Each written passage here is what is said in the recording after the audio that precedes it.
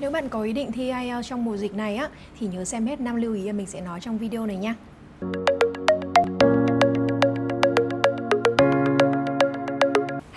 Chào mừng cả nhà đã quay trở lại với IELTS Smith Sông Kiều Mình chính là Kiều Hồng, tại Trầm Thông Speaking Và trong kênh này mình sẽ chia sẻ với mọi người về phương pháp và tư duy để đạt điểm IELTS mơ ước nha Mọi người có thể kết nối với mình qua Facebook cá nhân Kiều Hồng này Hoặc là qua nhóm Facebook tự học à, uh, IELTS Speaking 8.0 hoặc là qua kênh YouTube này IELTS Smith Hồng Kiều. Mọi người đừng quên nhớ like video và subscribe vào kênh để ủng hộ cho mình nhé. Và hôm nay mình sẽ chia sẻ với mọi người về năm lưu ý nếu mọi người có ý định đi thi dựa trên kinh nghiệm của mình vừa mới thi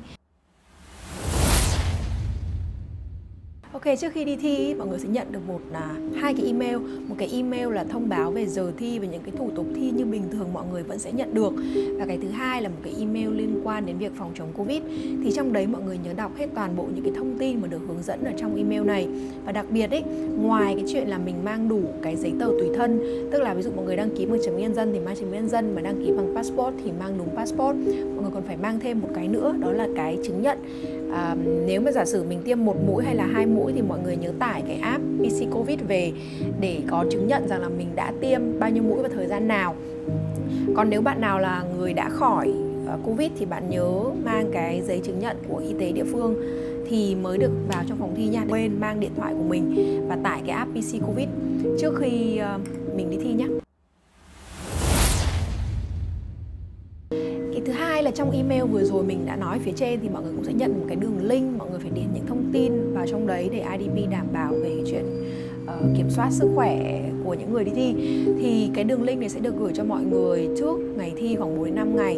Nhưng mà mình uh, cẩn thận đừng có quên và nhớ là phải điền tất cả các thông tin ở trong cái form này trước khi đi thi nhé Điểm thứ ba mà không được dặn ở trong email nhưng mà rằng mọi người nên mang theo khẩu trang với cả xì khuẩn phòng hờ. Mình sẽ phải đeo khẩu trang trong suốt quá trình thi. Tất nhiên là khi mà mình vào phòng thi rồi mình có cởi ra hít thở một tí hoặc là quá ngộp thì cũng không ai kiểm tra cái phần đấy. Nhưng mà tính mình thì khá là cẩn thận. Cho nên mình nghĩ mình vẫn nên đeo khẩu trang trong suốt quá trình thi. Mình nên mang theo khẩu trang phòng hờ trong trường hợp là khẩu trang của mình bị bẩn hay là mình muốn thay. Cái thứ hai nữa ấy, là tất cả các vật dụng ở trong phòng thi thì đã có rất nhiều người động vào rồi. Và đặc biệt là khi mà mình đi thi máy thì những cái như là chuột bàn phím có rất nhiều người đã thi trong cùng ngày hôm đấy cho nên tốt nhất là mình nên mang theo cái um, dụng cụ không phải dụng cụ mà cái cái xịt khuẩn cá nhân ấy ạ. Điều thứ tư mà mình hết sức lưu ý với mọi người là cái đợt thi này nó khác so với đợt thi trước dịch là khi mà thi speaking bình thường là mình sẽ nói chuyện với thẳng với lại giám khảo đúng không ạ? Nhưng mà lần này mình thi trang trong quá trình thi là cái nhất. Và cái thứ hai là có thể mình sẽ thi qua máy. Như cái lần mình thi mình thi ở IDP á, thì là mình sẽ thi qua máy. Tức là giám khảo ngồi ở bên một chỗ nào đó khác và mình sẽ thi qua Zoom. Nhưng mà mình được biết là hình như nếu mình thi ở BC á, thì các bạn vẫn nói chuyện trực tiếp với người bản xứ. Nhưng mà mình vẫn phải đeo khẩu trang.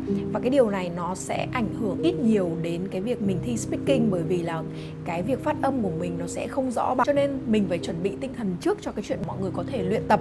Với với việc đeo khẩu trang ở nhà.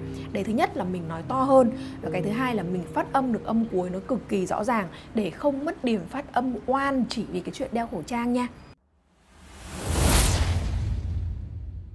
Và một lưu ý thứ năm mà mình nghĩ mọi người hết sức cẩn thận là nên giữ một khoảng cách nhất định với các thí sinh khác.